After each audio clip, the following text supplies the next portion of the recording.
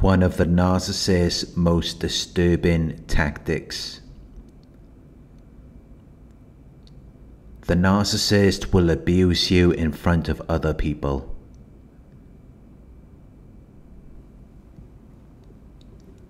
But other people may not be aware of it because they're using a tactic known as dog whistling or directed conversation.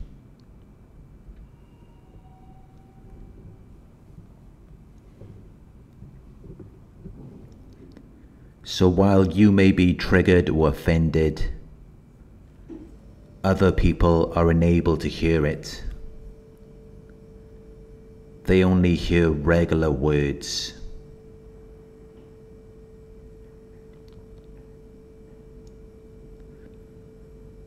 But even though the narcissist is triggering you and offending you,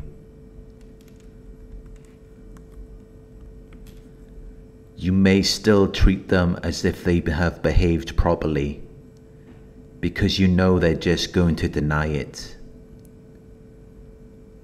Or you may try to talk to the other people about it, but by doing that, you look crazy because the dog whistling was not intended for them, so they didn't hear anything unusual because it was only intended for you. It was a script that they had arranged in advance. They made it seem like they were having a conversation with someone else, but it took place within your earshot. This scripted communication was intended for you and only you.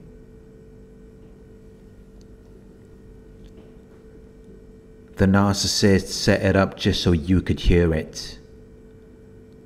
But they pretend like it's a private conversation while making sure that you hear it because they want you to hear it. It's done to weaken you, to make you lose courage and confidence, to make you lack order and stability. And they may even pull other people into it. Other people may be aware of what the narcissist is doing, and if they are toxic, they may even participate in this game. Dog whistling is a form of bullying. It's designed to hurt you and make you feel less valued, and it's also a form of gaslighting because if you confront them on it, they will deny it, which may cause you to doubt your own memory, perception, and sanity. But sometimes it's just you and the narcissist, and no one else is aware of it. Maybe the narcissist is very flirtatious, but this time they promised that they wouldn't flirt with anyone. So you go out together to a restaurant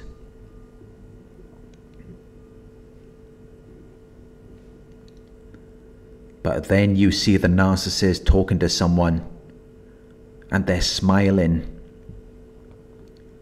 They're doing that thing they do when they're attracted to someone. But to everyone else, it may look like they're just being friendly, but you see through it because you've seen them do it before. So they already know that you're aware of what they're doing. And they're using it to hurt you.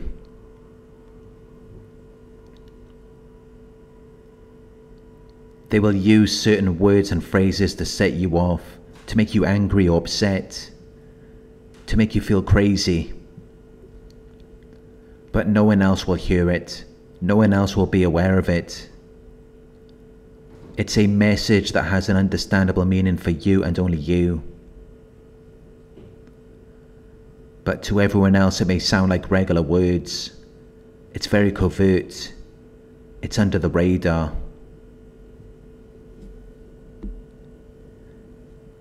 These normal words have a hidden meaning. They will use catchphrases that only you can understand without them having to openly admit that they don't like something about you or that they're against you. It's done in the form of coded language so that only the target is insulted by it.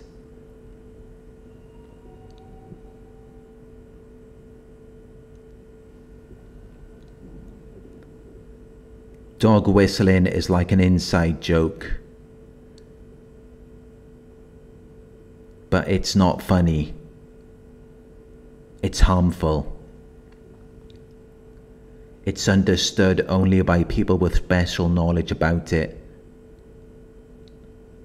Only by people who are in the know about the details of it. But it's not done to make you laugh. It's done to hurt you.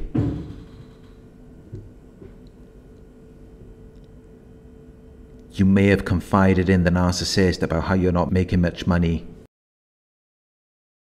and you have a lot of bills to pay. And then in another conversation with someone else, they will start talking about their friend and how much money they're making. which may seem innocent to other people because they're not putting it together. They just think they're saying something nice about their friend. So you may avoid confronting the narcissist to avoid looking crazy or paranoid. But they are using these words and topics to get under your skin while making it look like they're not doing anything unusual. They will trigger you in front of other people by saying specific things that will make you angry or upset. Narcissists can dish it out, but they can't take it. So you can give them a taste of their own medicine by using their own tactic against them. Narcissists are very sensitive to dog whistling they're very aware of any insults or slights. But I wouldn't recommend doing that because then you're just feeding into it. You're going deeper into the rabbit hole. And it can be difficult to find your way back out of there. So don't play the narcissist game. Because you're not going to win. They've been manipulating people their entire lives. They've had a lot of practice while you're more inclined to please people and make them feel comfortable. You don't like to hurt people. So if you try to manipulate them, it's going to hurt you.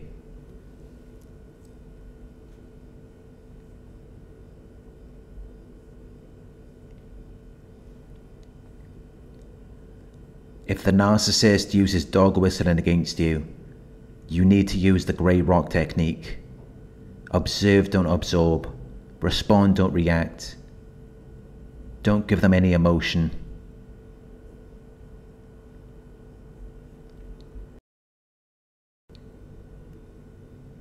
You may feel the emotion, and that is normal. But do not show it to them, because if you react to them emotionally, they will continue to do it. If you are being targeted by several people who are using the dog whistling tactic, it's only going to get worse. It's going to spread and contaminate other people. But you need to remember that they are the problem, not you. Normal, healthy people don't engage in this type of behavior.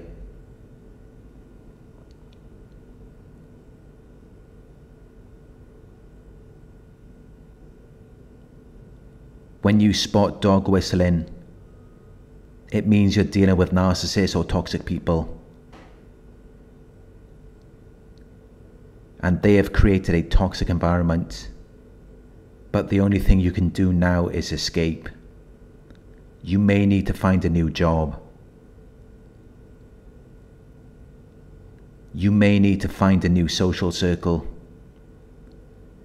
you need to avoid anyone who would drop their moral standards far enough to engage in dog whistling, to trigger you, to shame you. They will find someone else to play these games with. You need to walk away.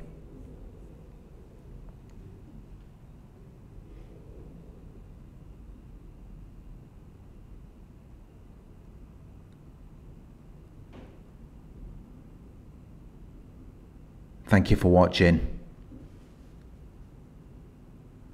I hope this video resonated with you.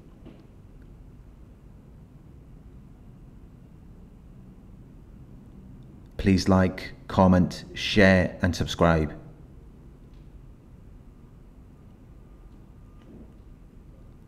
If you would like to donate, my PayPal link is in the video description. Coaching inquiries, you can email me at coaching at narcsurvivor.co.uk.